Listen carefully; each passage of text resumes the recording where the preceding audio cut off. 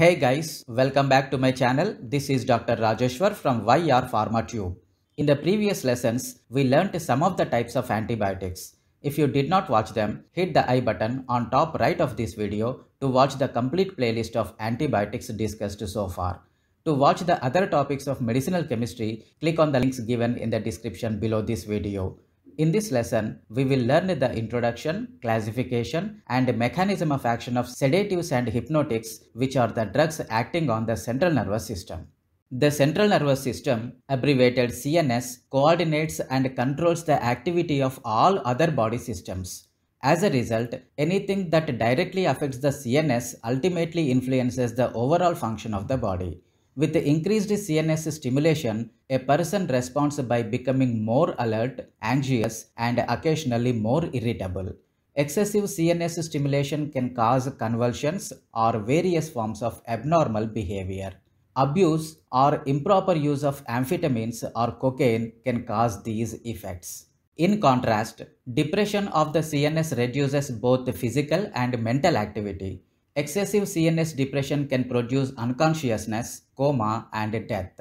CNS depression is frequently related to the misuse of barbiturates and alcohol. Sedatives and hypnotics are used therapeutically to depress the CNS activity. These agents are used primarily to treat anxiety and insomnia. Agents given to relieve anxiety are known as anti anxiety agents or anxiolytics. They were previously known as tranquilizers. Drugs given to promote sleep are known as hypnotics. The distinction between anti anxiety and hypnotic effects is a matter of dosage, which means sedatives and hypnotics relieve anxiety in low doses and induce sleep in higher doses. Therefore, a single drug may be considered both an anti anxiety agent and a hypnotic agent depending upon the reason for its use and the dosage employed. Sedatives are used to reduce the desire for physical activity. Thus, a sedative is a drug that produces a relaxing and calming effect but do not produce sleep. Usually, a sedative will be prescribed after a heart attack and some other condition when overexertion may be harmful. Various emotional or medical situations can cause anxiety and tension to interfere with sleep. When an individual is unable to sleep, a condition medically known as insomnia, excessive tiredness can contribute to greater anxiety and make any situation worse. In this instance, hypnotic drugs may be prescribed to induce and maintain sleep. A hypnotic is a drug that induces sleep, that is, it allows the patient to fall asleep and stay asleep. Hypnotics may also be called soporific agents. Now, let us try to understand sleep and sleeplessness and how to treat the sleeplessness. Sleep is a normal physiological phenomenon in humans. Sleeplessness, which is medically termed as insomnia, it is the inability to obtain an adequate amount or quality of sleep. Insomnia is a symptom and its proper treatment depends on finding the cause of sleeplessness and treating the underlying etiology. The most common type of insomnia is transient insomnia due to acute situational factors which means the sleeplessness lasting only for a short time or impermanent or not permanent. The typical factor is stress.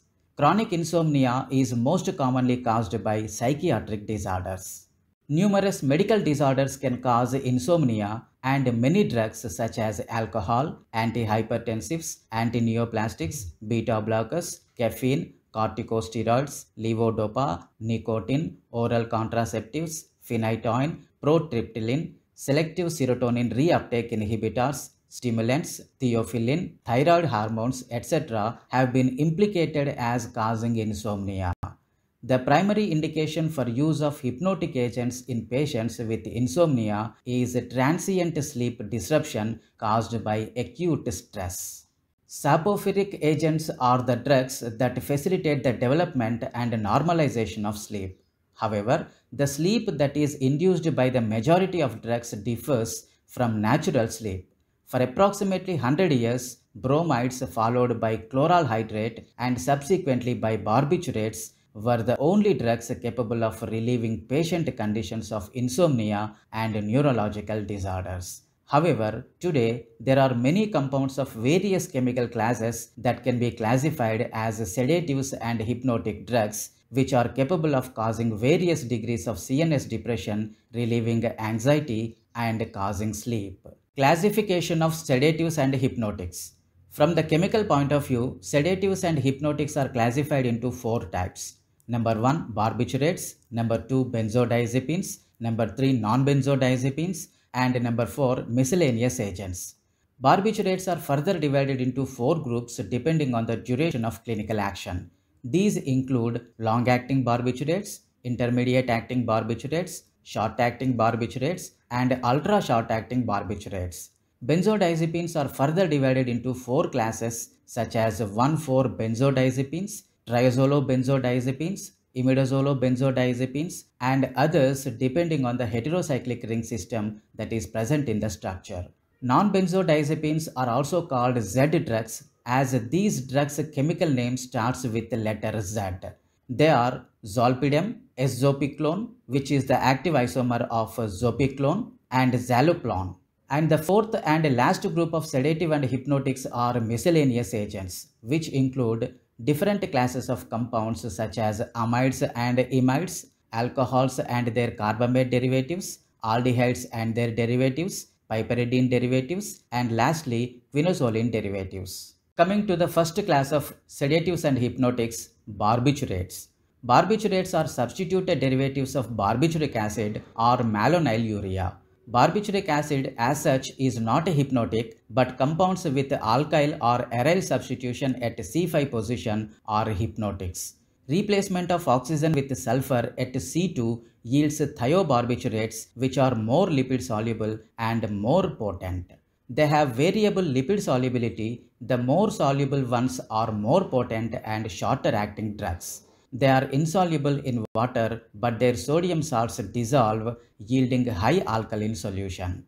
The barbiturates are divided into four groups depending on their duration of action. They are long acting, intermediate acting, short acting, and ultra short acting barbiturates. The onset of action for long acting barbiturates is visible only after an hour or so, and the duration of action lasts for 6 to 10 hours. They are largely excreted by the kidney. Examples include barbital, phenobarbital, mephobarbital, and metharbital. The onset of action for intermediate acting barbiturates is for 30 minutes and their hypnotic effect lasts for 4 to 6 hours. Most of them are first generated by the liver and the metabolized product subsequently excreted by the kidney. They are generally used in insomnia and also as a preoperative sedative. They also find their use in the treatment of convulsions when administered intravenously. Examples are amobarbital, aprobarbital, butabarbital, butalbital, hexobarbital, and talbutal. The onset of action for short-acting barbiturates falls within 15 minutes and their hypnotic action lasts for 1 to 2 hours. They are mostly metabolized in the liver. They are invariably used in the treatment of insomnia and preoperative medication. Examples include cyclobarbital, heptabarbital, pentobarbital, and secobarbital. The ultra short acting barbiturates act almost instantaneously, that is, within a few seconds after administration. Because of this peculiar character, they are used as anesthetics. Single doses have a duration of 20 minutes or less. Examples of drugs are thiamylal, thiopental, and methohexital. The second class of agents are benzodiazepines, abbreviated BDZ. There are a number of compounds which do not possess the malonylurea or barbiturate structure but exhibit marked and pronounced sedative hypnotic activity very similar to that of the barbiturates. Like barbiturates, these are habit forming to varying degrees. The basic chemical structure of the benzodiazepines consists of a benzene ring coupled to a seven-membered heterocyclic structure containing two nitrogens, that is diazepine at position 1 and 4. Of the 2000 benzodiazepines that have been synthesized, approximately 15 clinically useful compounds are on the market in the US. They may be grouped together on the basis of the basic structures, namely 1,4-benzodiazepines, triazolobenzodiazepines, imidazolobenzodiazepines, and others. The structures of 1,4-benzodiazepines are shown here. Triazolobenzodiazepines chemically differ from other benzodiazepines by having an additional fused triazole ring. These include alprazolam, triazolam, and estazolam. Imidazolobenzodiazepines are midazolam and loprazolam. Other benzodiazepine drugs are bromazepam, chlordiazepoxide, and brotizolam. The third class of sedative hypnotics are non-benzodiazepines. The so-called Z drugs, zopiclone, zolpidem, and zaleplon were discovered through systematic screening of molecules that possessed binding characteristics and in vivo activity similar to that of benzodiazepines. These three drugs are non-benzodiazepine drugs as can be seen from their structural chemical characteristics. It is worth noting that more recently the S plus enantiomer of zopiclone, eszopiclone, has been licensed. The S plus enantiomer is reported to have greater activity than the R minus enantiomer with a 50-fold higher affinity for the GABA A receptor and it is also suggested that it is superior in terms of the side effects profile. And the last class of sedative hypnotics are miscellaneous agents. A wide range of chemical structures can produce sedation and hypnosis resembling those produced by the barbiturates.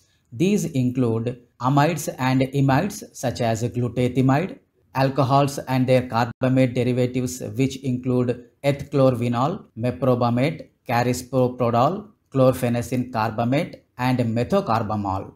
Aldehydes and their derivatives include chloral hydrate and paraldehyde.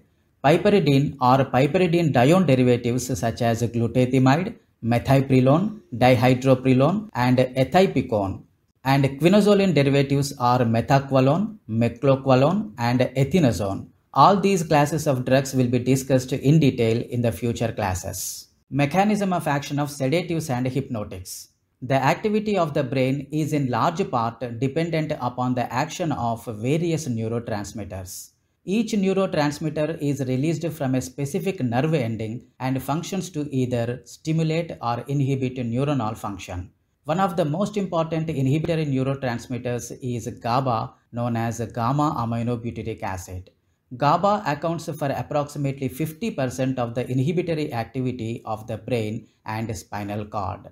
Neuronal function is in large part also dependent upon the action of various ions such as sodium, potassium and chloride. Each of these ions moves in through influx or out of efflux the neuronal membrane through specific ion channels. Nerve action potentials are generated when sodium ions influx through sodium channels to depolarize the nerve membrane. Nerve action potentials are inhibited when chloride ions influx through chloride channels to hyperpolarize the nerve membrane.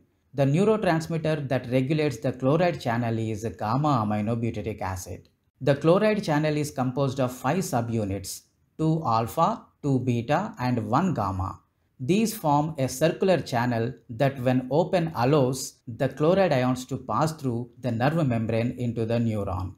GABA binds to a specific site on the channel referred to as the GABA A receptor. When GABA binds to the GABA A receptor, the channel opens and chloride ions influx into the nerve, causing hyperpolarization.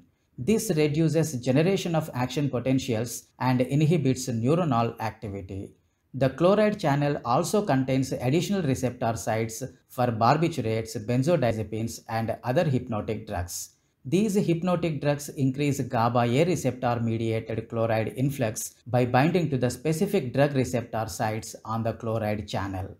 Barbiturates prolong the duration of channel opening and increase chloride ion influx. Barbiturates are also believed to have additional inhibitory actions both related and unrelated to the chloride channel. The benzodiazepines bind to their receptors named the benzodiazepine receptors and increase the activity of GABA by increasing the frequency of chloride channel opening. Drugs such as zolpidem, zaleplon, and eszopiclone demonstrate a more selective binding to a subunit of the benzodiazepine receptor referred to as the BZT1 receptor. This selective binding offers certain hypnotic advantages over barbiturate and benzodiazepine drugs. Each of these drug classes act to facilitate the inhibitory actions of GABA to increase chloride ion influx. The diagram shows the location of receptor sites for GABA and the various hypnotic drugs. The hypnotic drugs enhance the inhibitory actions of GABA to increase the influx of chloride ions and inhibit neuronal activity. This is the list of references followed for the lesson. That's all in this video, the sedatives and hypnotics introduction, their classification, structures and mechanism of action. In the next video, we will discuss on barbiturates, their chemistry, structure activity relationships and clinical uses. Till then, never stop learning and never stop watching my videos. Thank you for watching this video.